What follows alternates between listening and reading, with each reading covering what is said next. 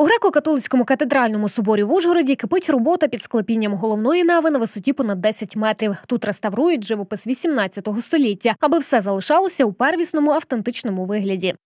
Займаюся відновленням е, втрачених елементів е, живопису. Е, Все це робиться, як ви бачите, з методом коробкової ретуші.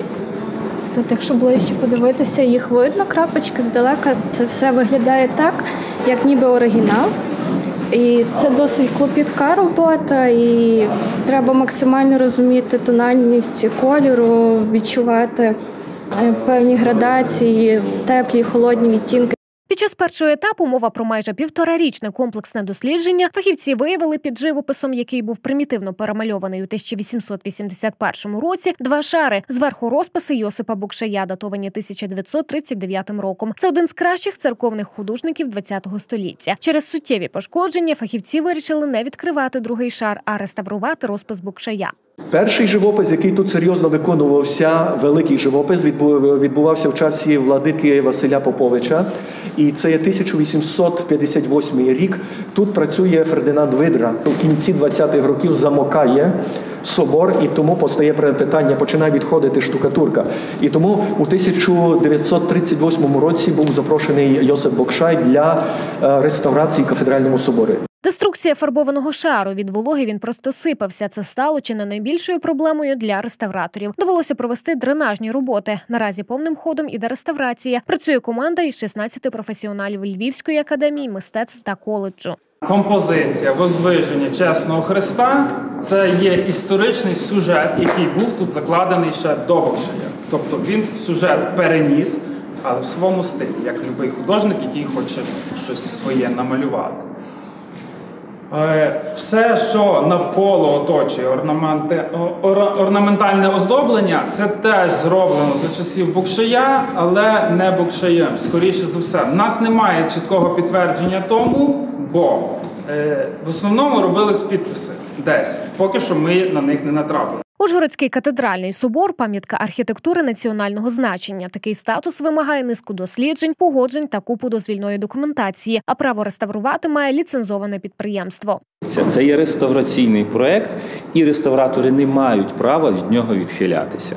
І тому всі методики, всі способи, матеріали, методи, які застосовують, чітко регламентовані і е, ведеться контроль склепіння головної нави, стіни, які потім будуть, е, ну, коли розбереться арештування, тоді е, приступлять до стін. І дуже важливо, що відновлюється іконостас позолочений. Майже 12 мільйонів гривень грантових коштів передбачено на реставрацію собору. З них освоєно наразі 20%. Це є дуже важливо відновити, відновити ту первинну красу того розпису. І, звичайно, що головний сенс того є духовний, що хрест Ісуса Христа це є джерело нашого спасіння, і Він там є дуже гарно представлений. Побачимо теж в новому такому світлі відкриється і постать цариці Єлени. Матері імператора Константина, яка цей хрест віднайшла. Велика частина роботи е, просунулись ми вперед, скажімо, бо картина була пошкоджена, я навіть не уявляю собі на скільки процентів, але дуже-дуже була пошкоджена, що фактично при такому е, світлі ми нічого не могли там розгледіти. Варто додати, відновлення унікальної культурно-історичної пам'ятки візитівки Ужгорода почали з 2009 року. Із єпископської каплиці, яка теж була майже дуже-дуже пошкоджена, і так само розпис у ній виконував славний Йосип Бокшай. Потім, після єпископської каплиці, відбувалася реставрація цього консисторіального залу, і потім реставратори почали свої роботи в кафедральному соборі, вже безпосередньо в храмі. Є закінчена реставрація святилища, тобто тої частини храму, що є за іконостасом, де священники, де є престоли, де священники відправляють божественні літургії. І ось в цьому році ми помаленьку дійшли до того, що почалася реставрація головної нави собору. Також у соборі реставрують іконостас. Іконостас, який було виконано до 1779 року, є унікальним, тому що він зберігає класичну схему тяблового іконостасу, В Ужгороді є пізніший іконостас, але на вимогу владики Андрія Бачинського зберігає абсолютно класичну ту форму. Хоча декор тут маємо з вами абсолютно австрійське рококо. Це така унікальна рококова річ. Цей іконостас став зразком для дуже багатьох іконостасів на території Мукачівської єпархії. Єпископ Мукачівської греко-католицької єпархії Владика Мілан свого часу ініціював створення наглядової ради, аби контролювати процес. Владика Мілан, покійної пам'яті, мав велике бажання, аби наш кафедральний собор дійсно був такою гарною перлиною. Багато речей робилося е, підготовчих до тої реставрації. Перша річ, яка мусилася зробити, помінятися повністю е, дах, як владика Нілуже говорив, щоб не було всіх тих е, протікань.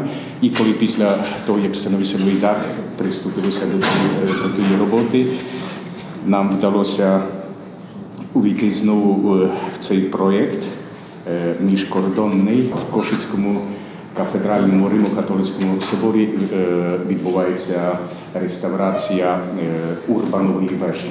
Практично це такий міжкордонний, міжкордонний проєкт. Це грантовий проект, що реалізується за європейські кошти у рамках програми транскордонного співробітництва Європейського інструменту сусідства Угорщина, Словаччина, Румунія, Україна 2014-2020. Закінчити планують до 31 серпня 2022 року. До кінця реставраційних робіт літургії у храмі не будуть припинятися.